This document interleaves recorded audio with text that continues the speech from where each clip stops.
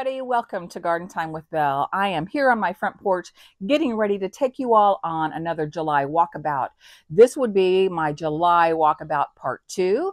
I posted a video to part one just the other day and it featured what was growing in my greenhouse and what is currently growing and doing well in my raised bed veggie, herb, and cut flower garden. So if you haven't seen walkabout part one for July, I'll link that in the description below. But today It's all about going around the house and showing you different containers and see how they're doing at mid-July, some shrubs, some trees, and other kinds of annuals and perennials. So that is what today's video is all about. But before I start describing how things are doing and what's growing in my July garden, I want to encourage everybody to please like and subscribe. Uh, subscribing to my channel doesn't cost you anything. It's just click on that little red subscribe button and that way I can continue to bring more content to gardeners across the US. But in particular, I am gardening from mid-Missouri. I am in a zone 6AB and there aren't many mid-Missouri gardeners out there on YouTube. And I thought, first of the year. Got some encouragement from friends. You know what? Why don't you start your own YouTube channel and uh, talk about what grows in the middle of the country? And so that's what it's all about. So thank you so much if you've already subscribed. If you haven't and you're new to the channel, please click that red subscribe button.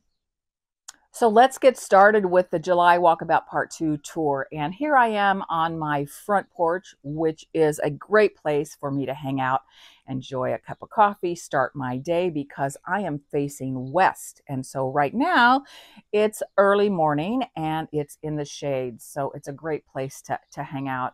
Uh, we get very warm here in the summers. We get heat, heat indexes over 100, but We've been blessed the last few days with much cooler temperatures. In fact, I think the high today is only going to be in the low 80s and the humidity levels have gone down. So when that happens in mid-Missouri in the summer, we just embrace those days and make the most of them. So I'm going to start my day with you all by taking you around uh, the property and showing you some things. And then I'm going to get to work in the garden and do a few other projects. So I want to show you my pots on my front porch. This is west facing. This has a pretty big overhang. So my front porch gets shaded almost the entire day. I would say when the sun is way over there late, late in the afternoon, early evening, this porch gets sun maybe two, three hours at the most. And these plants love it here.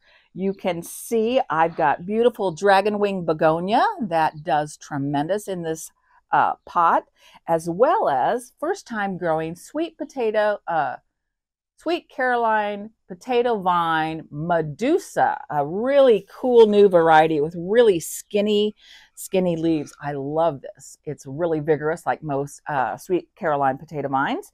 Um, what I want you to notice too underneath, these are unique stone planters. I can thank Garden uh, Answer, Laura from Garden Answer. Any of you follow her, she is probably probably the most popular YouTuber, uh, content creator for gardening.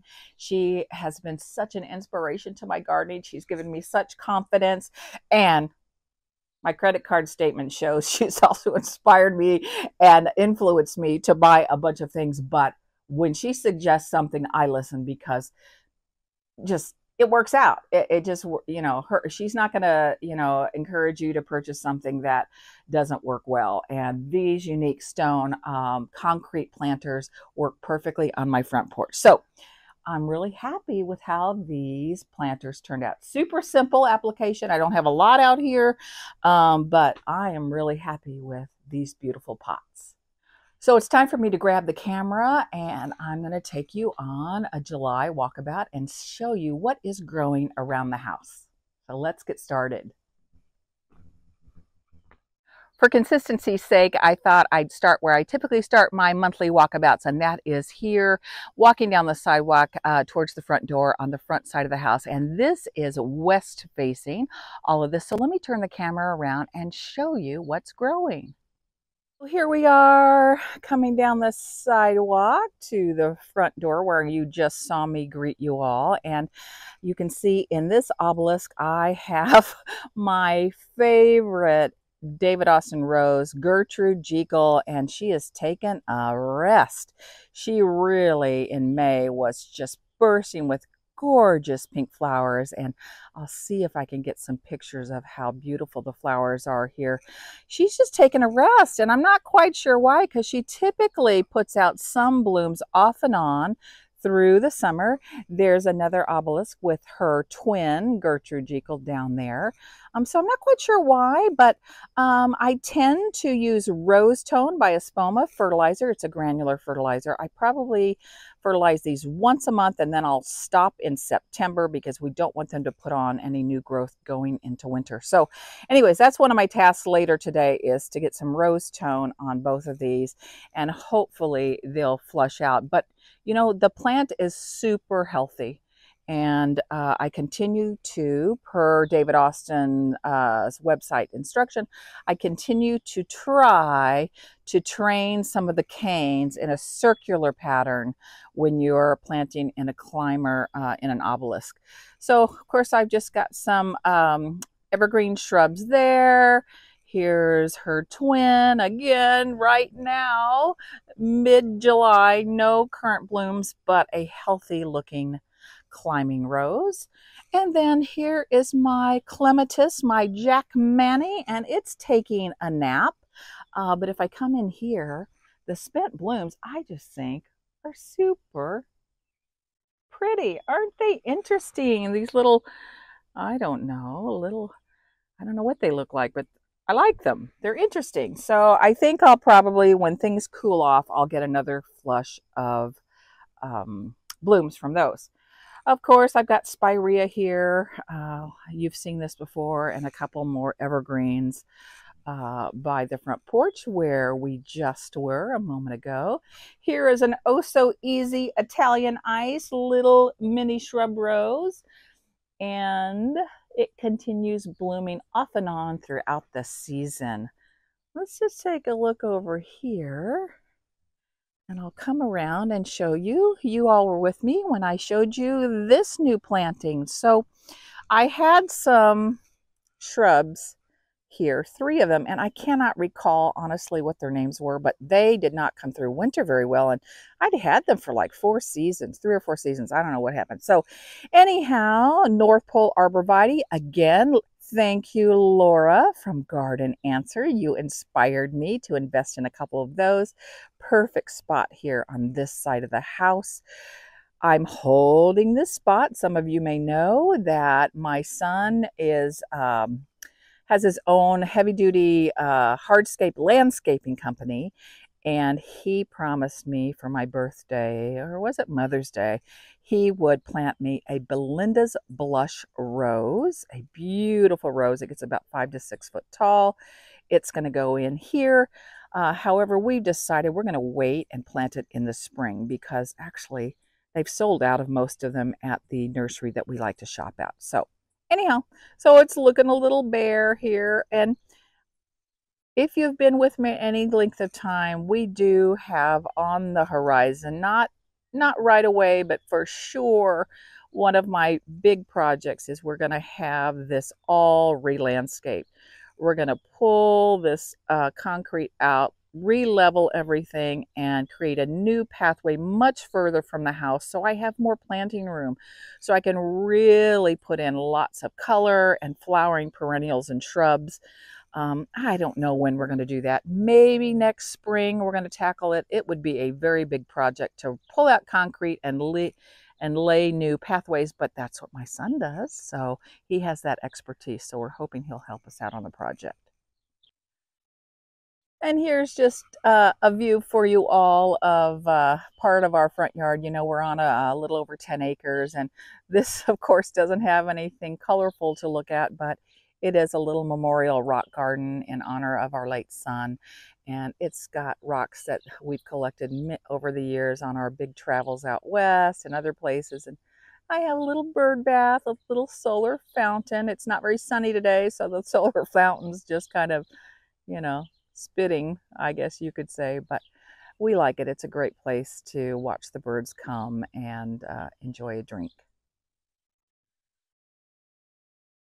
Thought I'd pan over here just so you all can see that we have had uh, some of our property. We have a young man that comes and uh, bales the grass and we just he just came last week and so you're going to see some big round bales bales on the property and he cuts it and he takes it away for his cattle and we're happy for him to do so because of course we are never going to mow all this acreage. This is a tulip magnolia, Leonard Messel, and of course tulip magnolias where we live are a beautiful spring flowering tree. Uh, so of course uh, no flowers, it's too late in the season since it's uh, mid-July, but Nevertheless, it's a pretty little tree. And let me take you here. You all have seen this before. So this is a two foot by 12 foot raised bed box that my husband put on the south side of the house just so I could grow cut flowers. It's really for production. It's not really for beauty. Um, and so this year I decided to grow Floret's seed and uh, I've never grown dahlia from seed. So that's what most of this represents are the dahlias I grew from seed. And I chose to grow Cancun Girls, which is a complete mix of different dahlias. And so, you know, some are blooming. Let's see if I can get in here for you to see. And the yellow ones, aren't they cheerful? These are dahlias. These haven't bloomed yet, but they have buds. And then down here, I threw in a few of my tubers that I overwintered. I had some extra ones uh, to fit in a spot. So that's what these are. Again, not any blooms except, oh, wait a second. I spoke too soon. There's Jitterbug, one of my all-time favorites. So I've got some dahlias in bloom. You also got to come along with me as I put this support um, twine up because dahlias can get quite top heavy and you can see, I mean, this dahlia right here from the base to the top, that's at least four and a half feet and they might even get taller. So it's nice to have some support for them. As we make our way down here, remember this is the south side of the house. We, in fact, the south side of our house doesn't have any windows. Uh, so it's not a place that we spend a lot of time, of course, but you know, if you've got some space, why not? And these are my oops purchase uh, earlier this summer, and those are yucca plants, and they look like they're finally growing. At least I haven't killed them yet, so there you go. And then as we walk down here, this little narrow bed has gorgeous, well, they quit blooming, but gorgeous Baptisia, lemon meringue, and uh, oh gosh, per, I'm going to say it wrong, purple sapphire anyways. But even though they're done blooming for the season, they have the most beautiful foliage that I like to use. I cut this when I make floral arrangement. It is a great filler. So any of you that are growing uh, false indigo or baptisia and you think, oh, you know, I've had color for a month, they're gone, they're not going to flower again until next year. If you like to put together arrangements, you've got some beautiful filler there that you can cut and pop in to a flower vase. All right, further down here, you're going to see some peonies. I don't care what I do, where I live, my peonies every single year get powdery mildew. They just do because where I live is so hot and humid there's plenty of airflow around my peonies, so that is not the reason. But honestly, powdery mildew finds them every year, and it's just part of the deal. But boy, they're magnificent in the spring when they have all those beautiful blooms. In fact, this year, I cut off the blooms in the marsh marshmallow stage and I have them stored in my fridge and I can pull those out and they will open up and I will have fresh flowers for up to three months. So you haven't seen the marshmallow trick, marshmallow stage trick of cutting them and putting them in your fridge, I will see if I can link a video um, in the description below to show you how to do that. Here's one of my Miss Molly Buddleias, and I just planted her this year, uh, and she is just like you would expect, doing tremendous. And I Don't see any butterflies on her now, but they usually swarm her.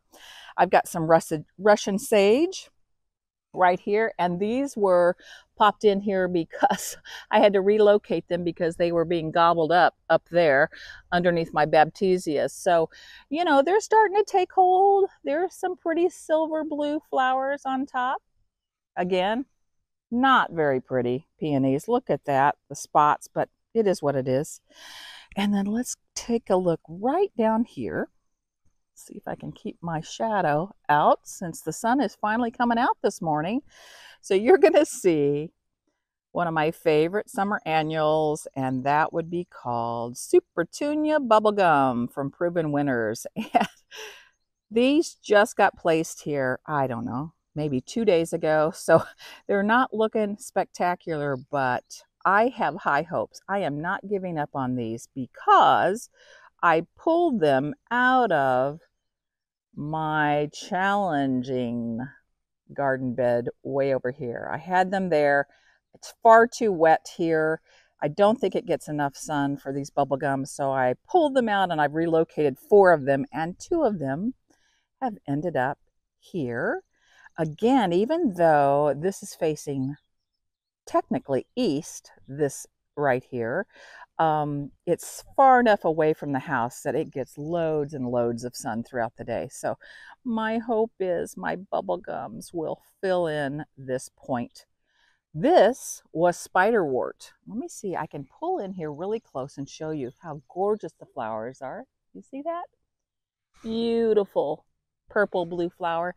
Spiderwort is really at its best in the cooler months, so spring and early summer it's pretty much done. So I actually cut it way back, probably by two thirds, cut all the spent blooms back, and that gave me sun and space to pop in these Supertunia uh, bubblegum. They are the Vista series, get really vigorous. So I'm hoping they'll take on uh, in this spot to mention something else about uh, the fact that here it is mid-July and I have relocated some annuals and you might think, oh my gosh, it's so late in the year. Can you be doing that? And actually where I live, I can do that because in mid-Missouri zone 6AB, we have a long growing season.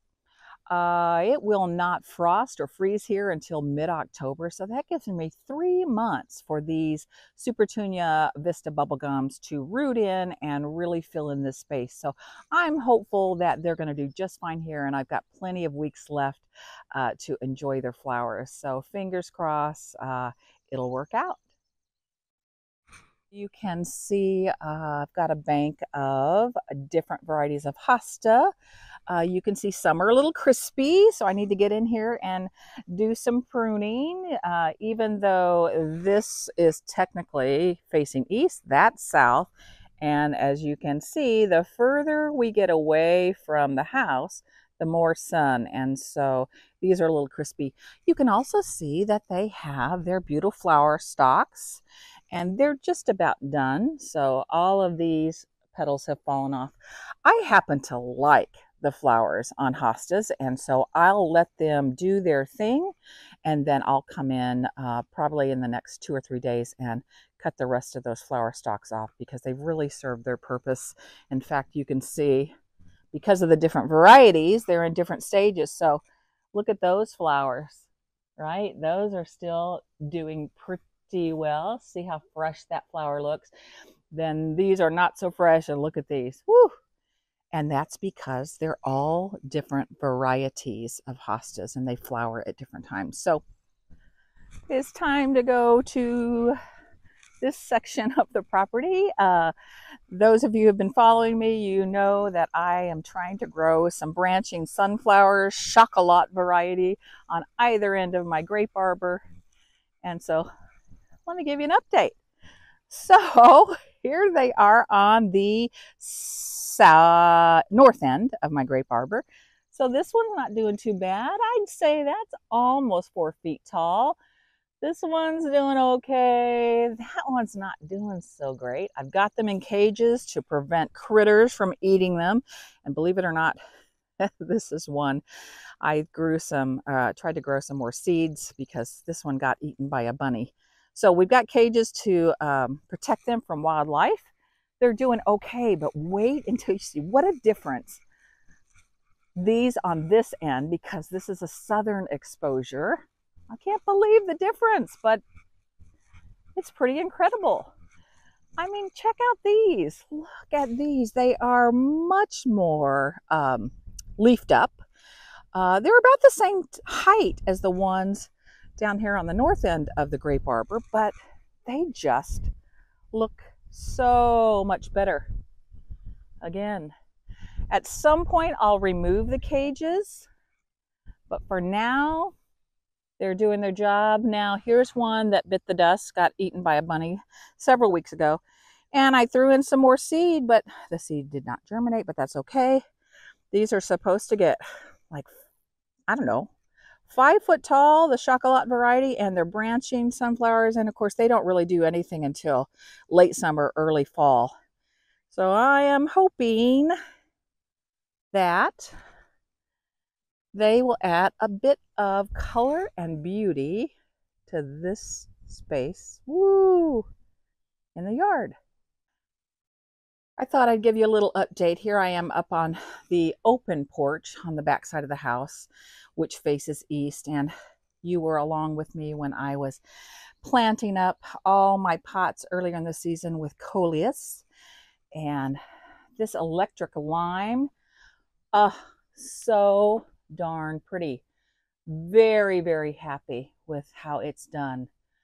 Not so happy with my Sun-Patiens that I bought. Check this one out. what in the world? I just I don't get it. Have any of you, you know, you buy something, you buy three plants, and one of them just doesn't perform and just dies. This is the best of the three, and it still got no flowers on it, but it had them. I'll see if I can pull up um, a photograph. I had these three Sun-Patiens inside on our covered porch right here. And they were absolutely spectacular for the first month. And then they started to go downhill. and in fact, when I came out one day and that one was dead, I was like, what? And I couldn't believe it. I was online looking at, of course, gardening stuff, and someone else in a gardening forum said the same thing. She posted she had three Sun-Patiens, tropical, I can't remember the name, I'll have to look it up for you. Tropical something. And she had three just like me in three different pots, same sun, same watering schedule, and one fail. So go figure. I would be remiss if I didn't feature these two hanging baskets. Okay, you know what those are, I bet, because you know my favorite flowering annual from Proven Winners is the Supertunia Petunia series, and these would be the Supertunia Vista Paradise, and that is only one plant.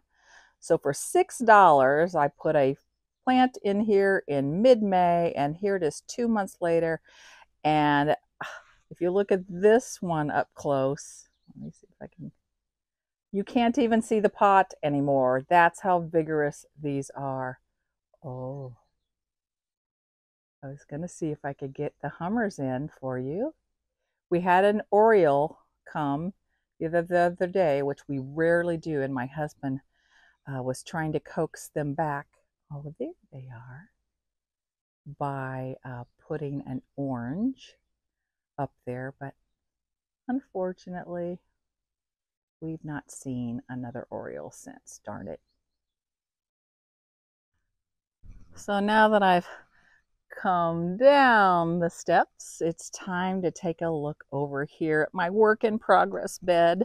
I've taken you along several times and shown you what I've been trying to accomplish here, and I'm having, I would say, mixed results. Uh, first, I want to show you another pot this pot had a bit of a challenge. This is another amazing Aquapot Light. Uh, you see here where you uh, put the water in. Well, in my excitement of planting up this pot earlier in the year, I did not open up the hole below. You there's a plug for drainage and you still need drainage even with the aquapot lights and I forgot to do that and so we've had so much rain that I came out here oh I don't know two weeks ago or so after so much rain and this soil was soaking wet. I mean, it was like water was floating. And oh, my poor geraniums that I grew from seed, the Maverick geraniums. This is coral. The white ones aren't blooming right now. I pulled out all the plants. We dumped out the water. We opened up the drainage hole below, and um, I'm trying to get them to come back. And so so in the center, I had some Gaura, which you know how much I love Gaura. If we, I don't know, I can't really zoom in, but if you look at my greenhouse aqua pots, I've got that beautiful wispy Gaura in the center of both of the big pots. I had a Gaura in here, and when it flooded out, it rotted. It did not survive. So I pulled the Gaura out, and I put in, of course, purple fountain grass if you've never grown purple fountain grass, know that it's vigorous, it grows, and it wants to take over. But I grew this same grass in here last year with some annuals surrounding the outside that spilled over the edge, and it was magnificent. It just did great. Check this out. this is my pot that I took you along when I potted this up in May Oh my gosh, check out that coleus. I'm going to see if I can turn the camera around so you can see how massive. This is only three plants in this pot and I have it on drip irrigation and it's loving life. I mean, sometimes it's really hard to show everybody the scale of plants, but this is three plants, three coleus in this pot. Wow, wow, wow. Couldn't be happier. Isn't that just beautiful? Here is my work in progress bed. This uh, flower bed faces east. It gets about six hours of sun. I've got some beautiful salvia. These are annuals. I've got some celosia that I grew from seed this year. And I've got some coleus over here under cloches so the bunnies don't keep eating those little starts got a hosta, and uh, of course, I've got my Miss Molly Buddleia. But what I'm delighted to share is what's doing fine here are these Limelight Prime hydrangeas. I was really, really worried that because it's so wet, this bed, that it might kill them. And I just planted these in late, late April. Um, and they're already blooming. So, I mean, gosh, check that out. So I think they're going to be fine. Um, I have found some yellowing leaves in the interior a little bit, and that kind of concerned me at first because this was sort of an investment to get three of these. And what I discovered in reading on the Proven Winners site is that actually not to be too concerned about yellowing leaves in the center of your Limelight Prime hydrangeas. That's really common in their first year. A lot of times, um, I've also read that when they are putting on flowers for the first time, as you can imagine, the plant is using all its energy to produce flowers. And so, therefore, it's not putting as much energy into worrying too much about the foliage. And so, so a little bit of leaf drop is okay. So I'm going to continue to monitor these and uh, hope that they grow up to their five to six foot tall and wide potential and fill in the back of this border beautifully. You might spy some more hydrangeas, but this is a different variety. So let me take you around the corner here and show you what that's doing. So as we round the corner here, you might notice or remember this is a cat mint nepeta. I pulled it from over there when it was getting gobbled up and I popped those in here about a month or so ago and they're doing okay. They're flushing out again. They have a big flush in early summer and then eh, if you cut them back, they'll reflush blooms And I actually haven't cut them back, but they're they're doing their thing. But look at my limelight punch, little lime punch. Oh my goodness. All right, you all, this is their this is their second or third year. Oh my goodness. I don't know, but proven winners. I mean, you know what you're doing. Look at these gorgeous flowers on this shrub. Little Lime Punch are known for coming out first chartreuse, then they come and turn into a creamy white, and then the pink starts to show, and then when things cool off and it gets closer to fall, they will turn a deep pinky red punch color. And I could not be more delighted with their performance. They just love it here on this point. In between, you see, I put some more mini vistas from Proven Winners. Indigo, the Supertunia Mini Vista Yellow. There's another indigo. There's some Brunnera. My coleus, little tiny coleus are not little and tiny anymore. Aren't they lovely? They're doing great in this border. And then uh, I had some um, that I made from cuttings. This is that electric lime. You saw these in the pots up on my porch. Uh, I cut some starts from them. And so I thought, well, I've got some open space here. I'll try to pop in some and see what they do. Okay, we're almost finished. Here is the beautiful copperhead coleus. Love and life. Absolutely delightful. So on this final tier, this is the north side of the house. We've got four different hostas and in the center of the hostas, we can take a look at Mr. Mikawa. He is a dwarf Japanese maple. His specs say that he will eventually get eight foot tall and about five to six feet wide. And the idea is he'll fill in this space and then all the hostas and things below will uh, set him off beautifully. Of course, I've got a repeat of the Supertunia Mini Vista Indigo, Yellow, Indigo, and you're going to see my little bubble gums that I tried to replace. I just popped those in a day or two ago.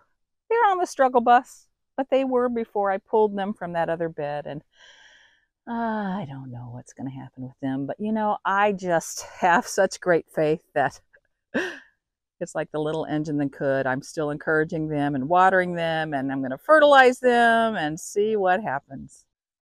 And last but not least, up by the house is uh, are the two uh, self-watering containers that I mentioned earlier that flank our garage. And again, my favorite beautiful coleus. This is a proven winners variety. I can't recall. I think I'll put the name on the screen if I can figure it out. And the double up begonias in front. This one worked great. Look at the double up begonia in that. But look over here. Oh my goodness. I don't know what happened. Let's go to this one. It's just on the struggle bus a little bit, but it's still alive. So there you go. Last stop on the July tour is the Monarch Pollinator Habitat. I jumped on my scooter, so we'll zip up here and I'll show you what is currently blooming in this space in mid to late July. Looks a lot different than it did a month ago, that's for darn sure.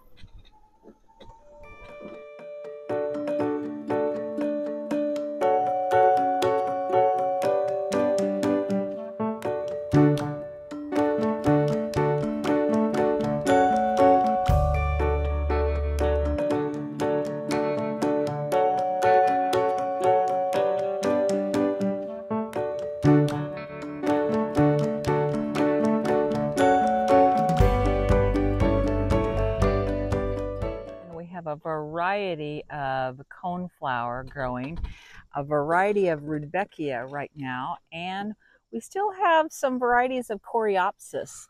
Back in May, it was an absolute sea of Coreopsis, a whole different variety than what I'm showing you here.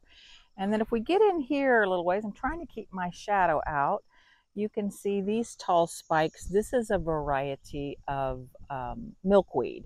I believe we have four varieties of milkweed growing uh, in the garden and uh, the common milkweed and then other kinds of milkweed. So let's see.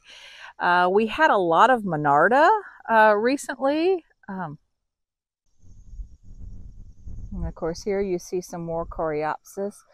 Uh, what you see now that doesn't look so great was the beautiful white yarrow I showed you. These were all just beautiful bursting with white all over the two acres when the uh, initial Coreopsis was in bloom, and they were just lovely. Here's another variety of milkweed. Those of you who are native uh, plant growers, if you know what this is, let me know. But I do know it's milkweed, I just don't know the variety. So let me see if I can find any of the uh, Monarda. I don't know if we'll have any left. The beautiful purple Monarda. I think I saw some Liatris. Uh, so let's see what we can find. I hope I mentioned that this is our third year for our pollinator habitat and uh, it just will continue to get better and better. But here is, I believe, this is a form of Liatris. I would love to see a lot more of those beauties growing in this habitat. So of course, just like in nature, things come in waves. You've got your spring flowers, your early summer, midsummer, and late summer. And right now, we're just at the very tail end of the beautiful Monarda. That's not looking so great, that purple flower in the middle, but I should have been out here two or three weeks ago because there were Monarda, there was Monarda everywhere.